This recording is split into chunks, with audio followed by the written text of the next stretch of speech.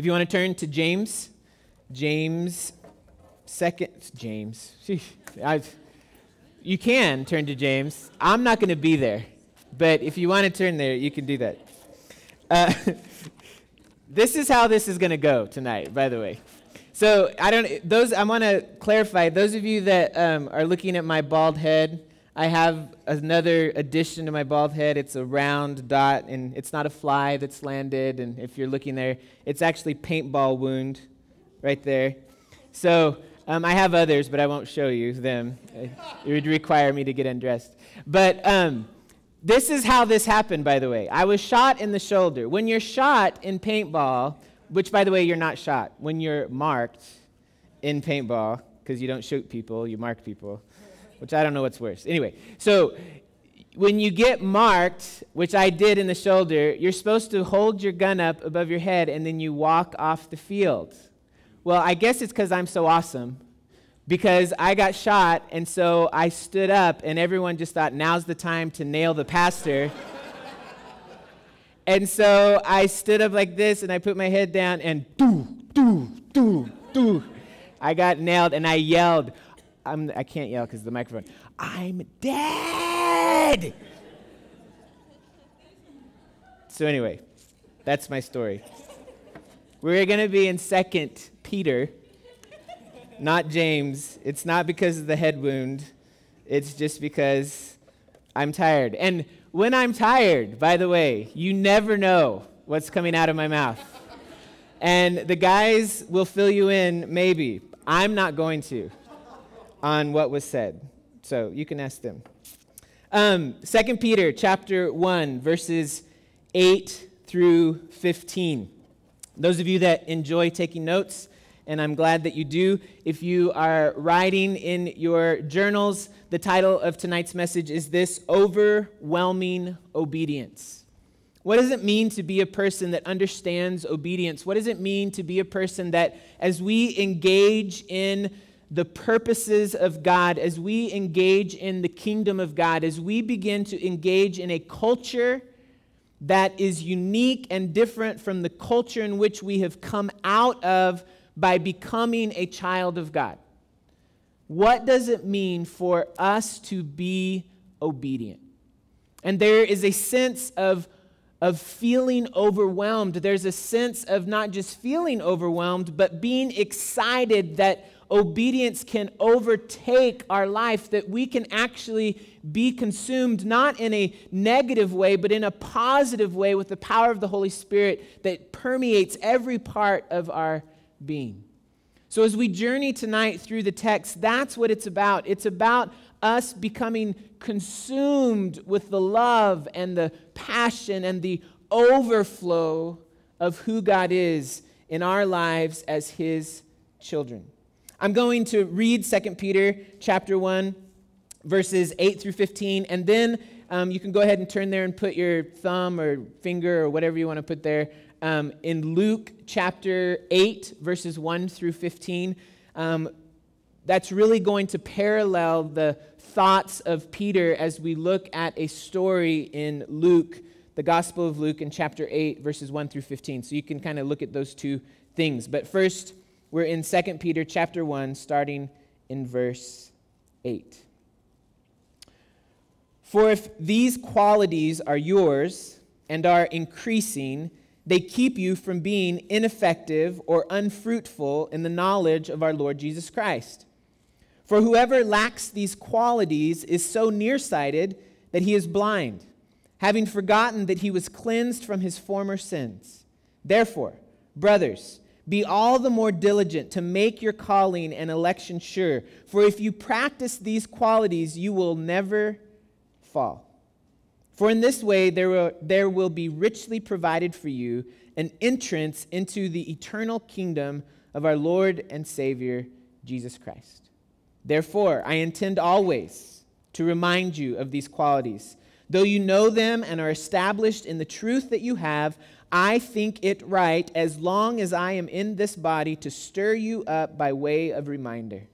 Since I know that putting off of my body will be soon, as our Lord Jesus Christ made clear to me, and I will make every effort so that after my departure, you may be able at any time to recall these things.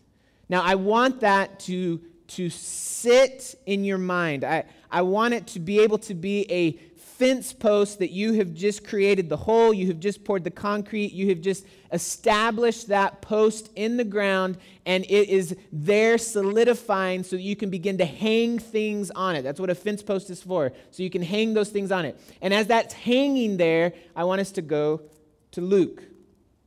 As you turn to Luke chapter 8, I want you to begin to think about these concepts and these virtues that we discussed last week and begin to allow that to sink in as we read Luke chapter 8, starting in verse 1. By the way, this will be familiar to you. Soon after, he went on through cities and villages, proclaiming and bringing the good news of the kingdom of God. And the twelve were with him, and also some women who had been healed of evil spirits and infirmities Mary called Magdalene from whom seven demons had gone out, and Joanna, the wife of Chuza, Herod's household manager, and Susanna, and many others who had provided for them out of their means. And when a great crowd was gathered, and people from town after town came to him, he said in a parable A sower went out to sow his seed, and as he sowed, some fell along the path and was trampled underfoot, and the birds of the air devoured it. And some fell on the rock, and it grew up it withered away because it had no moisture. And some fell among thorns, and the thorns grew up with it and choked it. And some fell into good soil and grew and yielded a hundredfold.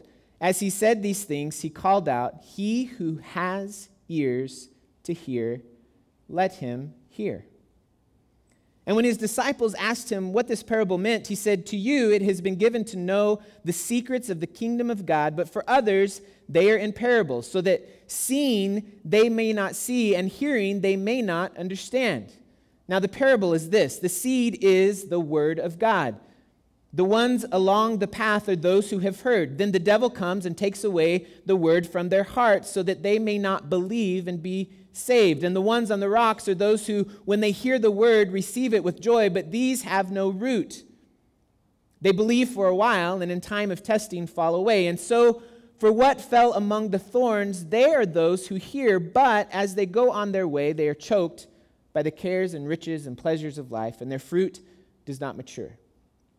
As for that in the good soil, they are those who, hearing the word, hold it fast in an honest and good heart and bear fruit with patience. So, hopefully by now, if you are back into Second Peter, that post has solidified and you're able to begin to hang things on the post, which is in fact the parable of the soils. As you are to understand what Peter is trying to get at in 2 Peter chapter 1 verses 8 through 15, it's good to understand this whole movement that Jesus himself is talking about when it comes to how the word of God falls on the lives of people. Soil number 1. You can look at it in two different ways. You can look at it the first when Jesus is telling the parable, and then second when Jesus is describing the par- parable. But soil number one is hard and unreceptive. The seed never penetrates the soil's hard exterior. And so the seed is wasted, it's for the birds. As you begin to think about this idea, it's true in nature. If you tried to plant, you just threw scattered seed, and the, the ground was so hard that there was no way that that seed could penetrate getting through the ground, that immediately a bird came and picked up the seed and took off because it didn't have the ability to stick to that ground. The practical sense, not just moving away from the seed, but actually moving into the lives of people, the practical sense is this people are simply not interested. You share the word of God with them. You open your mouth. They hear it. They know that you are talking to them about Jesus. They know that you are talking to them about the gospel. You know that they know that you are talking to them about the cross and the resurrection. You can list a hundred different things that they know that you are talking to them about, but they don't hear anything you tell them when it comes to spiritual things. The enemy the birds, Satan, their own flesh, immediately takes away all hope. Immediately. They don't hear. It falls on hard ground. Soil number one. Soil number two is then a different type of soil. It is shallow. It actually has some give to it. It has some place for the seed to start. You see, life germinates and begins to grow, but the ground actually has no depth to sustain that growth. The elements are too much. The seed, even though it has started to grow in this shallow ground, can't penetrate through the depth of the ground, and therefore when nature blows, literally, or things take place, it doesn't have the ability to survive. If you move from seed to practicality into the lives of people, initially, these people receive the message of the gospel with great joy. Whoa, this is incredible. This is awesome. This may have some application to my life. But when life has difficulties, then fear is the response. Isn't the gospel, isn't the word of God supposed to make my life easier, is what they proclaim.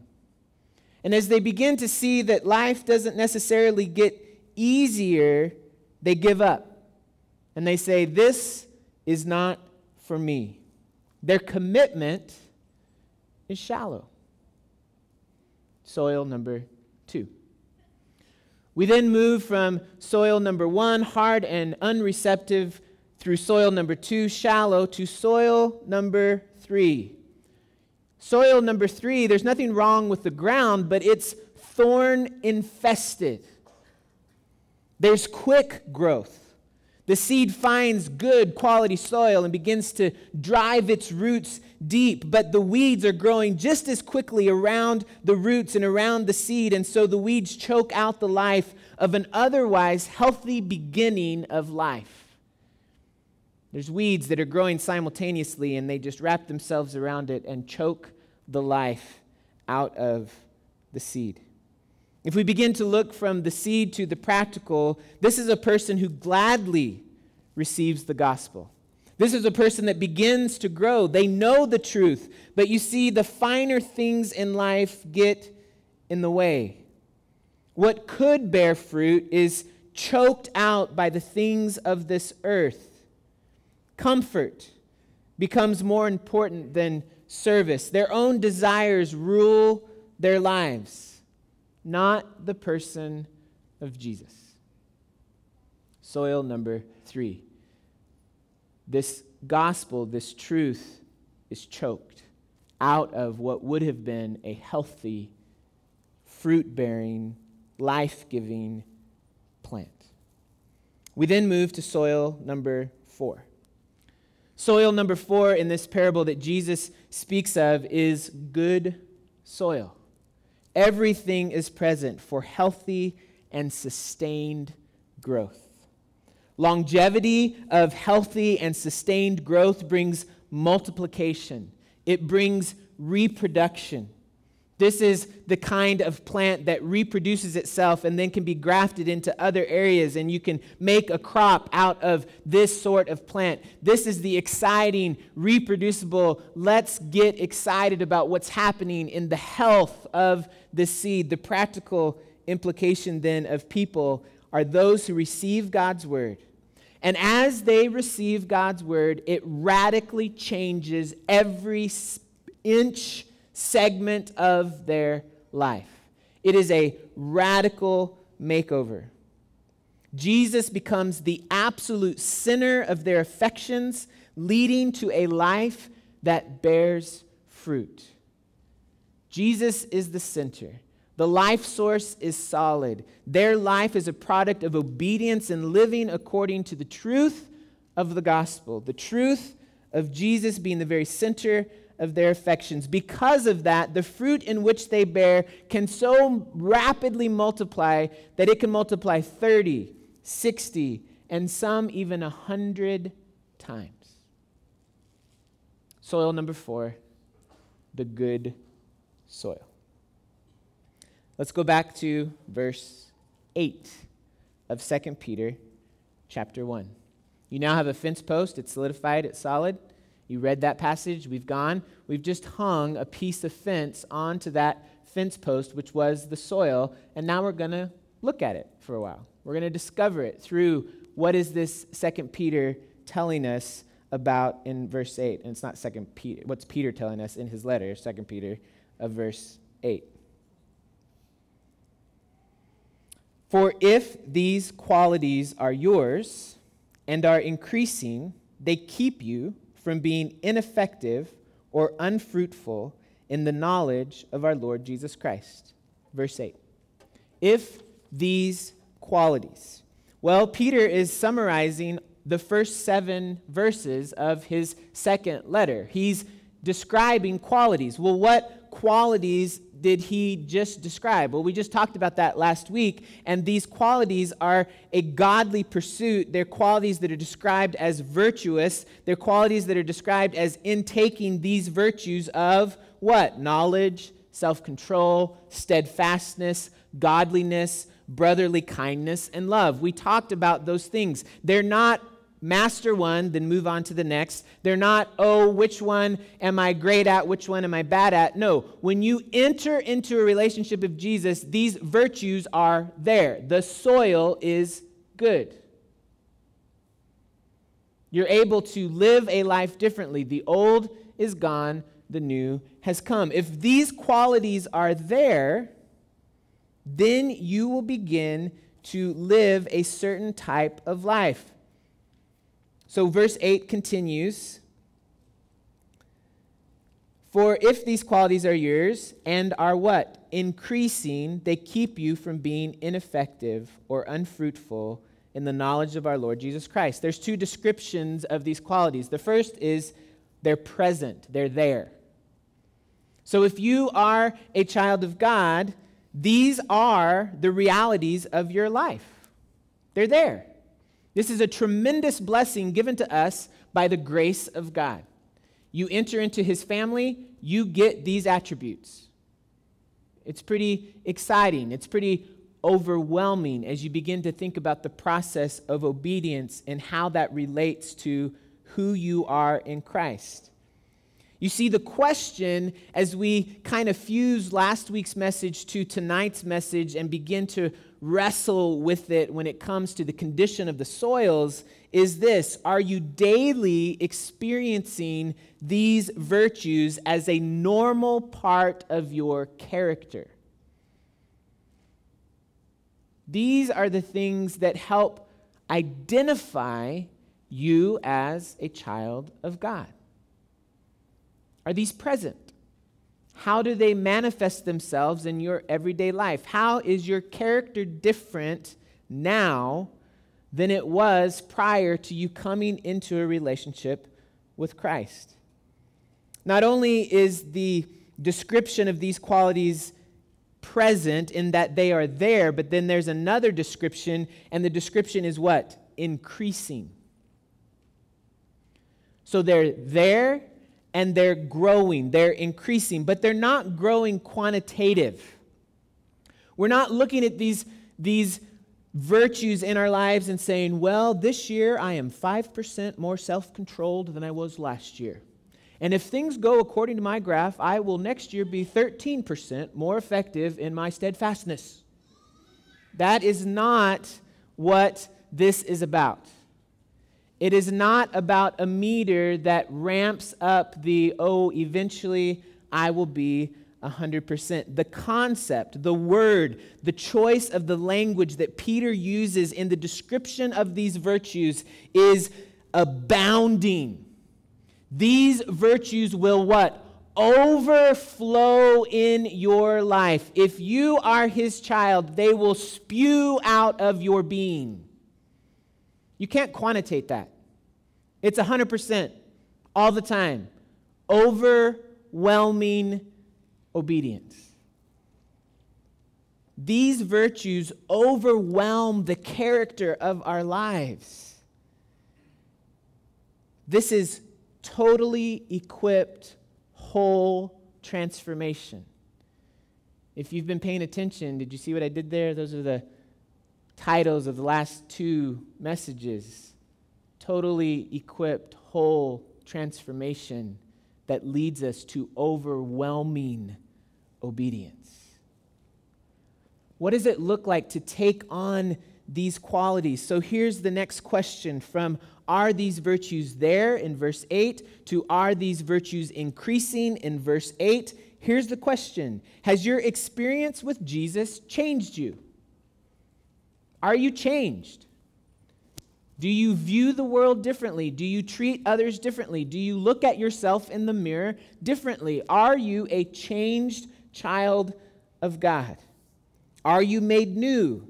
Does your life what? Overflow with the Holy Spirit? If not, why not? Why aren't you changed? Why isn't God overwhelming you with his presence?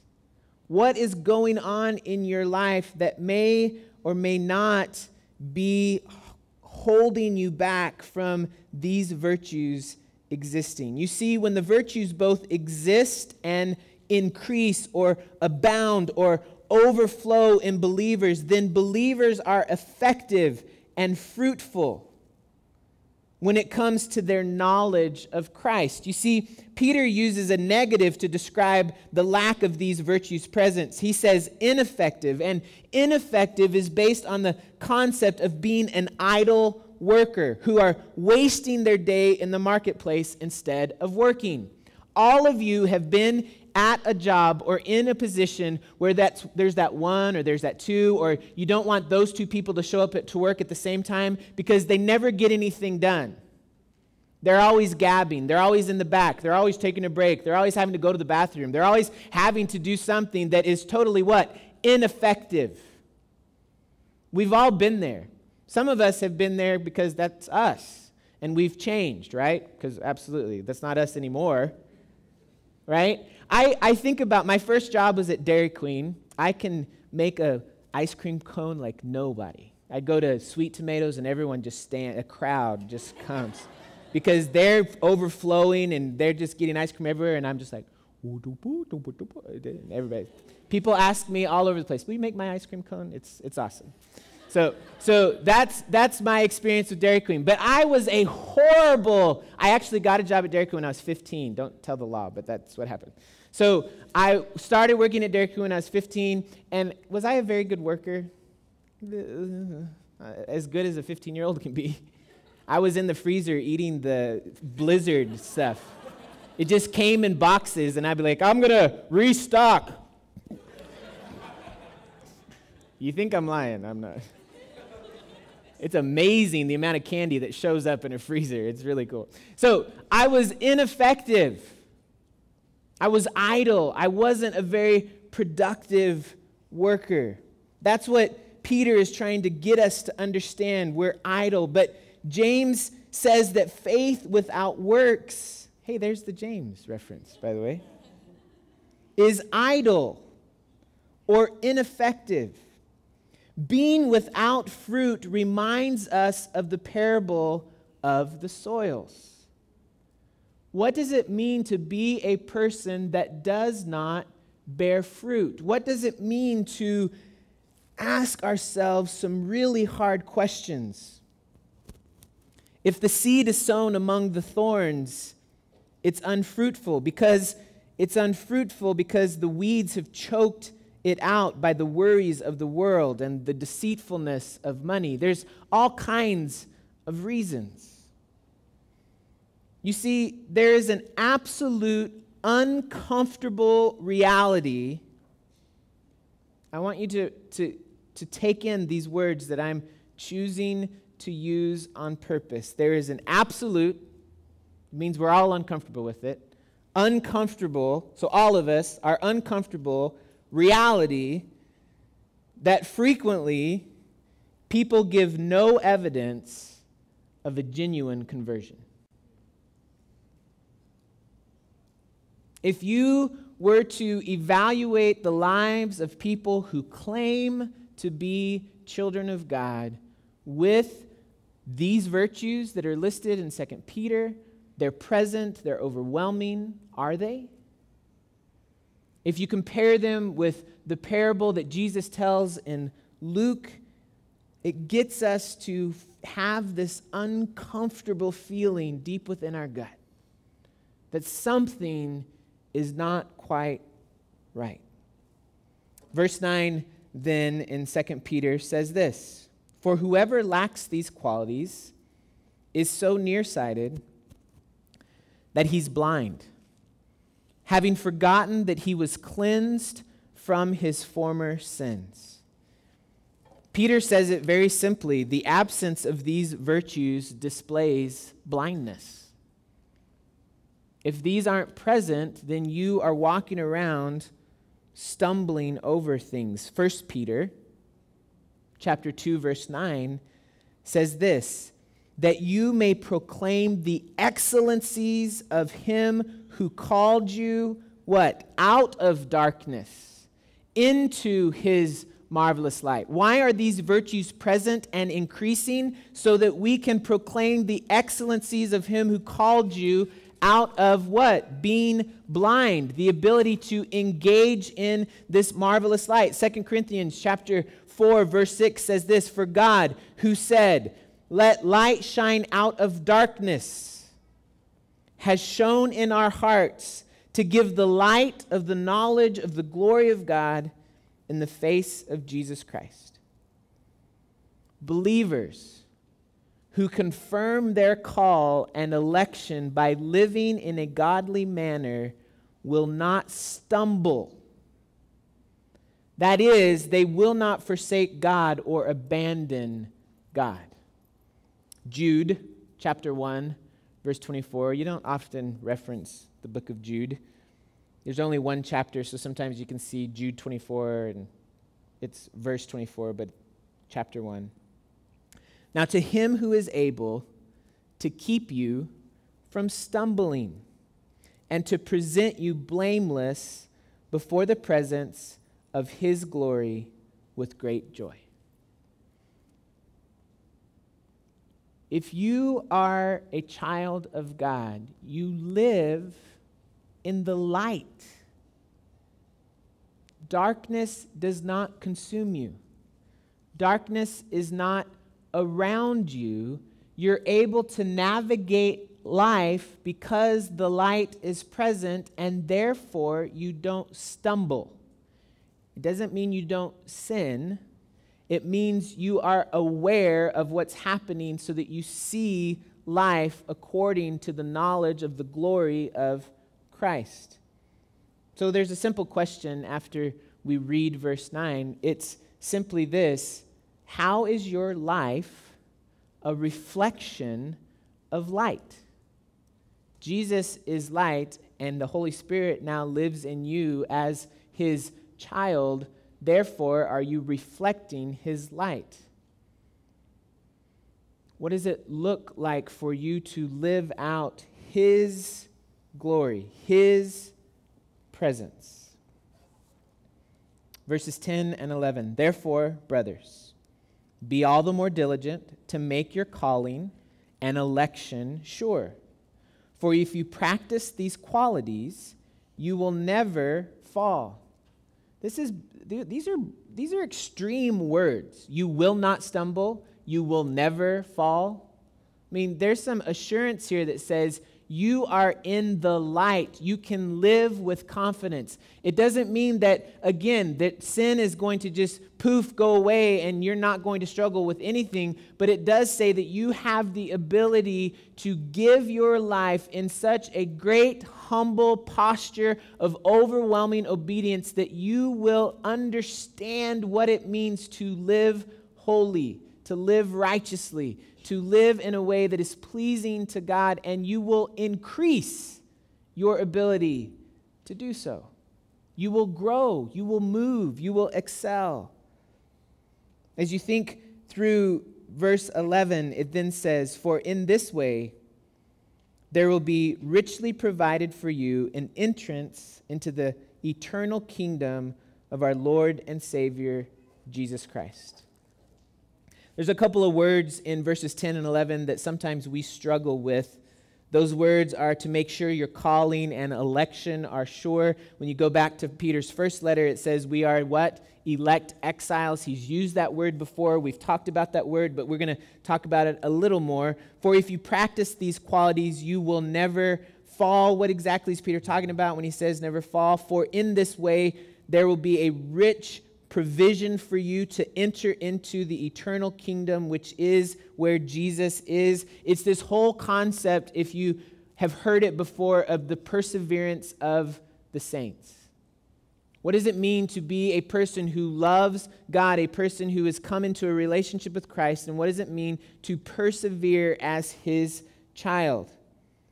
1 John chapter 2 verses 3 through 6 begin to explain this. And by this we know that we have come to know him if we keep his commandments. Whoever says, I know him, but does not keep his commandments, is a liar. And the truth is not in him.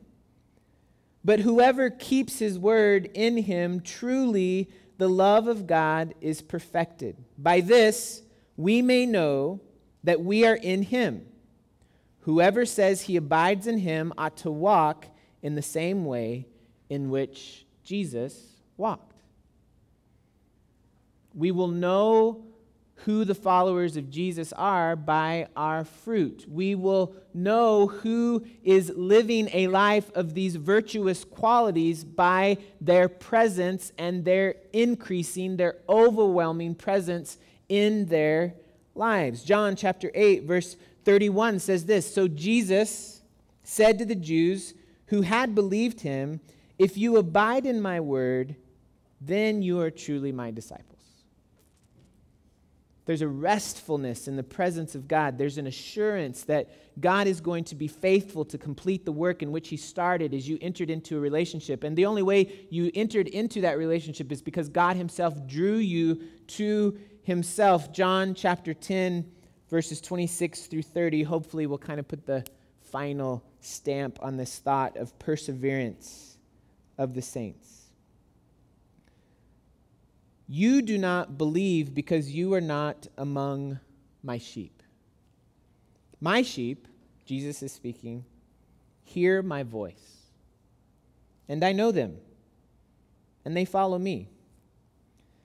I give them eternal life, and they will never perish, and no one will snatch them out of my hand. My Father, who has given them to me, is greater than all, and no one is able to snatch them out of the Father's hand. I and the Father are one. I love that passage. This illustration seems ridiculous when it's compared to the strength of this passage. I'm going to use it so you can kind of get the concept but it's really bad. And what I mean by that is you guys have heard a lot of illustrations about my dog Jasper, and Jasper gets a bad rap, but he's actually a pretty decent dog. Um, he listens pretty well, especially to me. He knows my voice, and he listens to me above all other people in my family. If my family is trying to get him to do something, he may do it, but he can get pretty stubborn in his personality. But as soon as he sees that I'm serious about it, that dog moves because he knows he better. He knows that this is how this relationship works. Chad's the alpha, and I'm not. So let's move in this direction, right? And so when you begin to see that, it's a really cheesy and a really bad illustration, but it proves the point that if two people were standing up here and I let Jasper into the room and I called him and you called him, he would come to me. He knows my voice, he's going to listen to me. As you begin to look at this passage, which is so far beyond anything of that metaphor, Jesus is describing, but the people who are mine. My sheep hear my voice. I know them, and they follow me. I give them eternal life, and they will not perish. No one will snatch them out of my hand. And even if you doubted that Jesus could keep your salvation, keep your relationship with Him secure, then Jesus proves his point even further, and he says, But you know what? My father, he actually gave this flock to me. He actually put these people in my presence to care for, and he's greater than anyone. And so no one is able to snatch them out of the Father's hand. And then Jesus obviously puts this giant stamp on all of this and says, and by the way, me and God, we're one. There is a perseverance of are you abiding? Are you living? Are you in relationship with God? Are these virtues not just present, but are they increasing? And do we realize the, the absolute uncomfortable reality that frequently people give no evidence of a genuine conversion? There are lots of people who claim the identity of Christ, but they are walking dead just like those who have never heard the gospel. What does it mean to understand these passages in a way that motivates us to live according to the truth that has been revealed to us? Verses 12 through 15. Because of all of what Peter just said, he says, So, therefore, I intend always to remind you of these qualities. Though you know them, you know what it means to follow Jesus. Though you know them, it's my job to constantly remind you of them. They are established in the truth that you have. I think it right, as long as I am in this body, to stir you up by way of reminder, since I know that the putting off of my body will be soon, as our Lord Jesus Christ made clear to me, and I will make every effort so that after my departure you may be able at any time to recall these things. Reminders are powerful tools for action. We use our iPhones or other smartphones to remind us of certain things. We use cal- calendars, we use friends, we use spouses to remind us of certain things. But when we look through pictures, oftentimes pictures can be huge, beautiful reminders of good things in life or tragic things in life. We use different things in our lives to be a reminder of power for our lives. Brotherly affection and love move the community of faith to influence, to motivate, to bear with to cheer on. We, as the body of Christ, can be reminders to each other that says, This life is worth living, to be completely overwhelmed by the presence of Christ. At the men's retreat this last weekend, we had four guys kind of just share their life story. And as they began to talk, it was a beautiful reminder that other men who are sitting in the room listening to these four different men who have four different stories, but see this golden thread of God's activity in their life, these other men who are listening to these four men can sit and say, Wow, this is such a reminder that where I am, other people have been, what I'm frustrated by, other people have been frustrated by, the way those people's worlds have been rocked, and the way I'm feeling right now, I can be encouraged to press on and to move and to increase in this joy of a knowledge of who God is. What does it mean for us to take on the words of Peter and to be believers that regularly are prompted to prize the gospel new every day? As Peter explains his words in verses 12 through 15, he's basically explaining all of verses 1 through 11, and he's hoping that his words would stab the believers awake so that they, his words, would reject what the opponents were teaching. Remember, 2 Peter was to, the letter, the, the purpose of the letter was to speak against the false teaching that was happening in the churches. And so Peter was saying, I want to remind you of these virtues. I want to remind you of this godly life. I want to remind you of this knowledge of living according to the truth of Jesus so that this unbelief, this false teaching will go away. Believers know the gospel. You know the gospel. You can tell me the gospel. You might even be able to quote John 3:16. You have the ability to say, "Chad, this is what Jesus did for me." But we also must not just assume that we know it, but we must move forward in a sense, relearn the gospel every day. It must impact your daily, hourly life. It's not just this one time thing that I took care of when I was nine, or I took care of when I was 15, or I took care of when I was 22. No, it's this thing in life that, yes, there's assurance. I am Jesus's. He knows my name. I hear his voice. I listen to him. But every day I wake up and I say, This is what this life means a life of security, a life of perseverance, a life of overflowing being in the presence of Jesus. So, the question in this section is simply this How are you experiencing a full knowledge of the gospel? How are you experiencing that? Not just, I can tell the story of the gospel, but are you experiencing this fullness of the gospel? How is the vitality of the gospel experienced with you and those around you fresh every day? Can you give a gospel story that happened today? Can you talk about change and transformation and obedience and security and faith and grace and hope and can you talk about what happened today? Is the gospel present today in your life?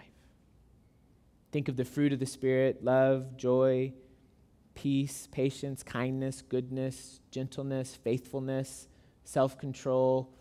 Is the fruit present in your life? How are you living that life afresh, anew?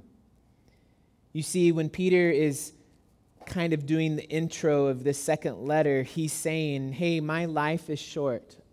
God has revealed to me that my death will be soon. And in this state that Peter is in, his mission was laser sharp. And he is reminding the church to stay faithful. Stay faithful. Be soil number four. Be consumed with the presence of Christ. Be faithful in digging and cultivating and coming alongside your brothers and sisters to develop the strength to persevere through trial and through suffering and through accusation.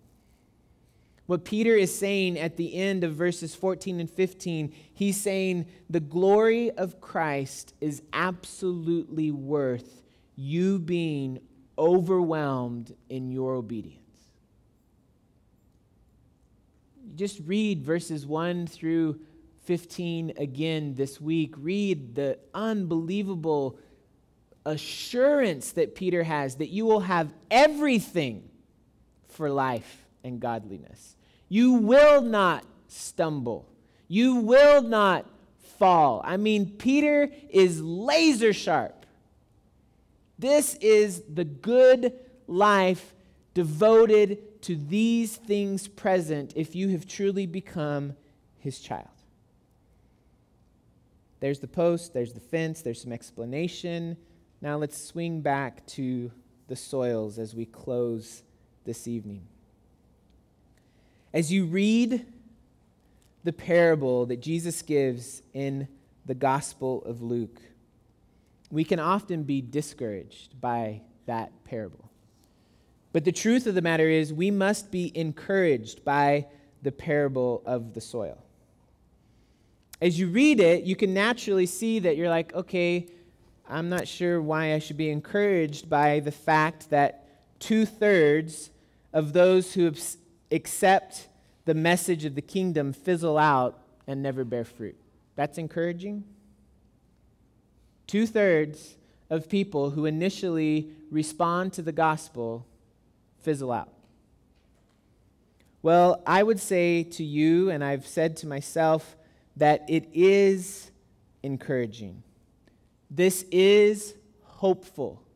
This is exciting. And you're saying, what? And I'm saying, yes, hopeful, exciting.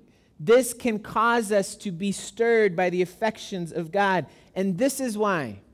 Because I no longer, and you no longer, as a true, genuine disciple of Jesus, need to feel responsible for the fruit or the lack thereof of the fruit in the lives of other people.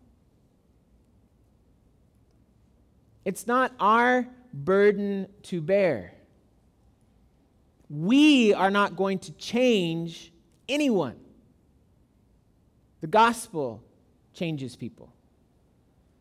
And the fact of the matter is, when you read about the soils, two thirds of the people that legitimately hear the message reject it. We don't need to bear that burden. If 10 people accept the gospel, but only two bear fruit, who should we spend time with?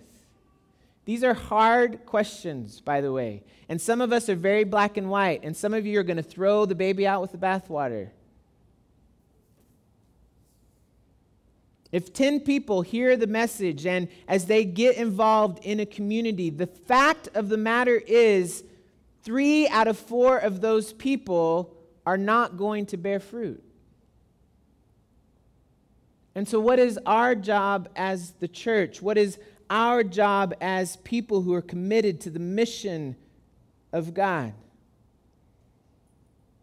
We need to be kind, we need to be considerate, we need to be perseverant to those who have not accepted the message of the gospel or have grown strong enough roots to bear fruit. But we do not need to babysit. And there's a big difference. Steadfast and faithful and perseverant and patient and prayerful. That somehow God would change the condition of the soil that they've been exposed to, that they have been trying to figure out, and that through that, that soil that is overwhelmed with weeds and is trying to choke the life out of those people, that we would pray and that God would change the effects of that person's life so that they can find the richness of good soil and bear fruit. But we cannot let the unfruitful distract us from the mission of God. We can't accommodate bad soil. Peter has said to us that life's too short. He says to us, we invest everything in those that will bear fruit.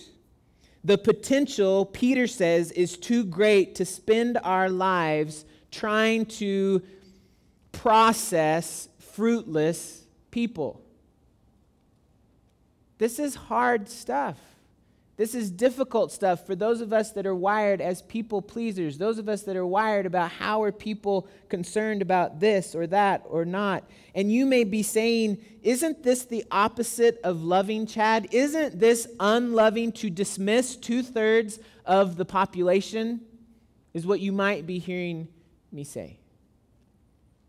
And what I would say to you is, I'm not callous and I'm not heartless, and I'm not just a thinker. But that as you read scripture and as you read the parable of the soils, and as Jesus explains the parable of the soils, and as you read the heart of Peter, and if, as he ends, he, as he gets to the moments of the end of his life and he reflects, think of what Peter has seen. Peter has seen some pretty big stuff, huge stuff. He's been completely immersed in the life of Christ. He has witnessed the resurrection. He's witnessed the ascension. He was part of the inner circle. He saw the transfiguration. He knows Jesus above all things. And at the end of his life, he's reflecting on what matters. And what he says is In all of the things that I've seen, we cannot waste our life on those things that are fruitless. We have to engage. Life is too important to not begin to invest in those that bear fruit. Peter says his goal is to be Jesus centered. And I say about my life that I will not be callous and I will not be a thinker and I will not be heartless, but I will be centered on Christ. So, how do we spend our time? How do we invest in people? People must be confronted by the consequences of their choices if they are to get to the heart of their need for Christ. We need to call a shriveling, pathetic, dying plant just that. And we need to help, if we can, revive that plant.